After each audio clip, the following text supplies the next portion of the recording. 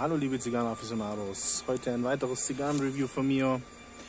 Die Joya de Nicaragua Antano CT. Die Antano ist einfach eine der fünf Serien von Joya de Nicaragua und CT heißt, glaube ich, Connecticut. Weil es für Joya de Nicaragua, Nicaragua nicht wirklich üblich ist, ein etwas helleres Deckblatt zu haben. Die haben eher eben typische dunkle Nicaragua-Tabake und eben hier ein etwas helleres Ecuador Connecticut Shade Deckblatt. Umblatt, Einlage Nicaragua. 1968 gegründet, also die älteste Tabacalera in Nicaragua.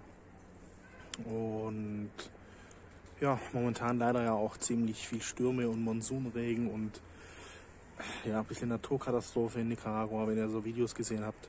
Massive Überschwemmungen und, und Wasserfälle überall und ja, da geht es gerade wirklich drunter und drüber, vor allem auch in der Nähe von Esteli, ja, die größte Tabacalera dort ja, am Start. Deswegen drücken wir mal die Daumen, dass nichts groß passiert. Ähm, warum die CT-Serie? Wie gesagt, ähm, die äh, Joja sind eher kräftigere Zigarren und ja, mit Connecticut Shade ist es im Prinzip nach wie vor eine komplexe Zigarre, aber halt eben ein Touch milder und cremiger unterwegs. Ja, ich wollte das Review ja eigentlich schon heute Mittag machen. Ähm, habe dann mein Mikrofon verloren und ich wusste, es gibt nur eine Stelle, wo ich das verloren haben könnte. Bin dann halt schnell wieder zurückgelaufen, halbe Stunde, aber dann war es schon weg. Also es kann nur da gewesen sein, weil ich da das Handy rausgeholt hatte und ein Foto gemacht habe. Ja, ist halt weg. Deswegen hoffe ich, ihr versteht mich trotzdem ganz gut. Könnt ihr mal ein Feedback geben, ob ihr ähm, doch einen großen Unterschied hört. Vor allem gerade ist da hinten irgendjemand mit so einem, mit so einem Leafblower, mit so einem Laubbläser, der ziemlich Radau macht. Hoffentlich versteht er überhaupt was. Ich hatte, glaube ich, schon mal eine ähm, Joya de Nicaragua Classic reviewed. Ich kann mich nicht mehr erinnern, wie sie geschmeckt hat. Ähm, aber das Deckblatt sieht ganz gut aus.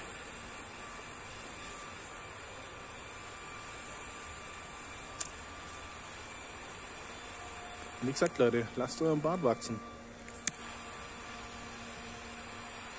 Gut, mittlerweile ist es eh nicht mehr so, dass die Leute fragen, wenn sie eine Veränderung an dir spüren oder sehen weil jeder nur noch mit sich selbst beschäftigt ist. Die kriegen das gar nicht mehr mit. Aber ich kann mich noch erinnern, so vor acht Jahren, ja, zehn Jahren, wenn man dann ein Profilbild auf Facebook hochgeladen hat und das sah das irgendwie so wie jetzt aus, also pennerhaft. Ja, du könntest dich mal wieder rasieren, du könntest dich mal wieder rasieren, warum lässt du zum Bart wachsen, sieht komisch aus oder wie auch immer. Dann kann man sich ja erklären, warum man November als Mann den Bart wachsen lässt. Ich hoffe, der ein oder andere macht damit. Ich hoffe, der ein oder andere interessiert sich für das Thema.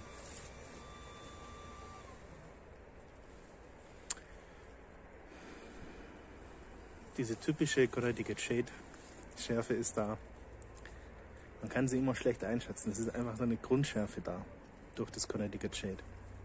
Es gibt eine Zigarre, die das ähm, Connecticut Shade hatte, wo ich das gut fand. Das war von Hiram und Solomon.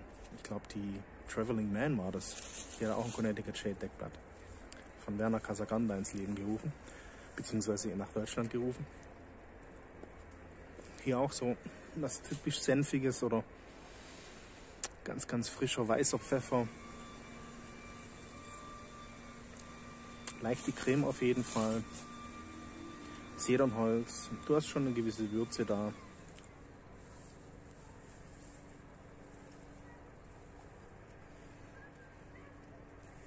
Oh.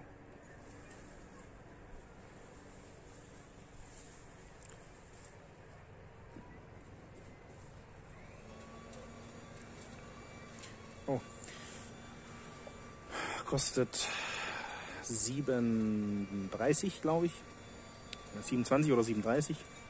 Hat eine klassische Robusto-Version, Länge 12,7 cm. und ein 52er Ringmaß. Also unter 8 Euro.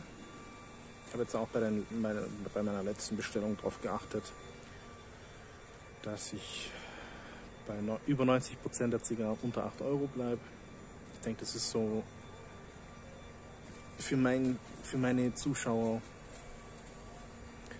so das Hauptspektrum vom Preis her.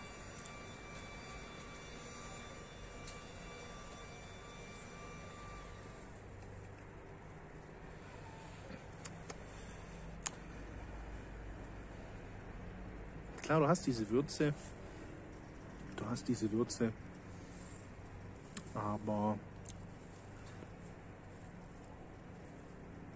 schönes Rauchvolumen übrigens aber etwas leicht süffiges, fruchtiges könnte man ja auch nachsagen. Also das so einen gewissen Ausgleich zu der Pfeffrigkeit, zu der Würze.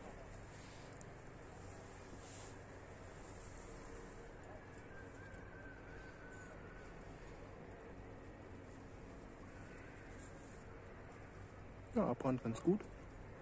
Kann man nichts sagen.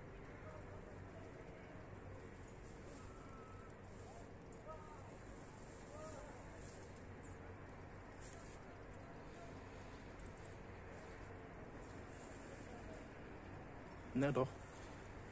Gut Ausgleich. Leicht süßlich, cremig.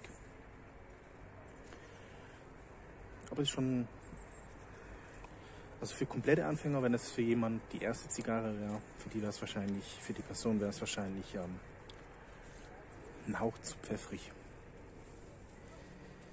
Aber immer gesagt, sei gesagt, wartet so die ersten 10 Minuten ab, das finde ich besser, nämlich wenn sie am Anfang ungestüm daherkommt und dann deutlich milder wird und sanfter. Also wenn du dann zur Mitte hin oder zum letzten Drittel dann eine mega scharfe oder erdige Zigarre kriegst und die dann im Prinzip gar nicht mehr rauchen möchtest. Da finde ich das lieber am Anfang gut. Ja. Dann hast du noch was vor dir, dann überstehst du so die 10 Minuten und dann kriegst du eine richtig schöne Zigarre und kannst sie bis zum Schluss rauchen. So finde ich das eigentlich ideal. Dass er halt eben so ein bisschen ja, von der Stärke her was bietet, aber halt dann eben nicht zu lang. Ja.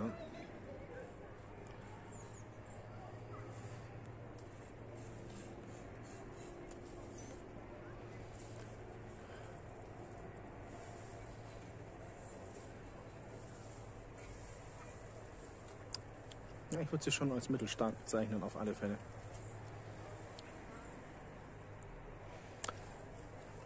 Also von den Aromen her zumindest. Nikotinmäßig ist er eher milder unterwegs.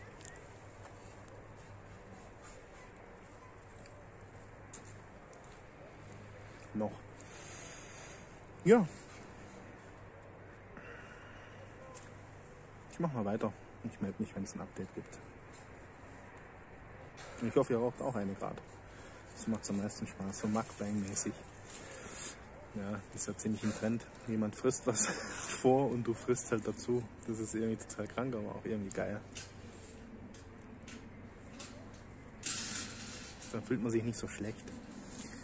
Vor allem als Fettsack, so wie ich. Wenn man dann sieht, ja, aber der isst ja auch, auch ungesunde Sachen. Ja, dann esse ich heute halt auch was Ungesundes. Ich bin ja nicht allein damit mit dem Problem.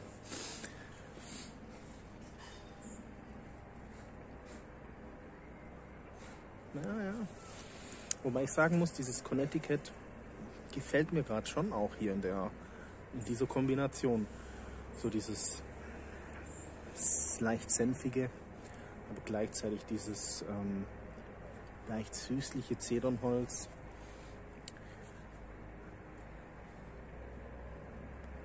Ja, also es ist gut geblendet, finde ich. Also das will ich damit sagen.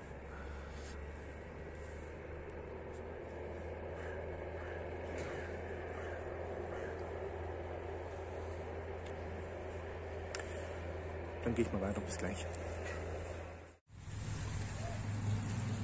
Ja, schönes Rauchvolumen, guter Abbrand. Dieses leicht ähm, fruchtige gefällt mir und so ein Hauch Nuss, das ist ja bekannt. dass auf diese Connecticut Shade Tabake zwar eine gewisse Pfeffrigkeit aufweisen, aber gleichzeitig halt eben auch so dieses dezent nussig cremige. Ähm, ja, also die Pfeffrigkeit, die Würzigkeit die nimmt ein bisschen ab, aber diese Grund Connecticut Schärfe bleibt da. Ja, ist eine angenehme Zigarre. Also im Hochsommer würde ich sie vielleicht nicht unbedingt rauchen, aber jetzt ähm, passt es auf jeden Fall. Kommt gut und sympathisch daher.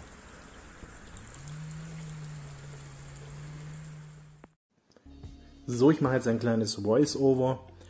Ich habe ähm, mit einem Zuschauer von mir vom YouTube-Kanal auf Instagram ein Live-Video gemacht und zusammen halt eine Zigarre geraucht, während ich halt die Joya de Nicaragua CT geraucht habe. Und da haben wir uns halt verquatscht und deswegen war die Zigarre dann aus. Jedenfalls kam zum Schluss noch was Florales natürlich. So ein bisschen ähm, Erde, aber nie zu krass. Und auch Röstaromen, Toast-Röstaromen.